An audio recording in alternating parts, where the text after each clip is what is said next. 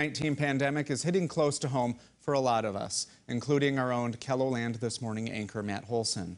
Matt's brother Ben is a Washington High School grad who now lives and works as a radio broadcaster in the Minneapolis area. He's currently quarantined in his basement away from his wife and daughter as an assumed positive carrier of the coronavirus. Despite having chills, a fever, shortness of breath, and more, he says he couldn't get tested. He says it's because he didn't meet the criteria and didn't need hospitalization at this time. They're not doing tests up here unless they're you're a healthcare worker or you live in a nursing home facility. And so, Daddy, you're my favorite. Hmm. Well, Ben says he's not sure how he got sick. He was still going inside the grocery store occasionally and recently had to go to the post office to mail some masks to vulnerable family members. Now, he's urging everyone to take the proper precautions and stay at home if you can.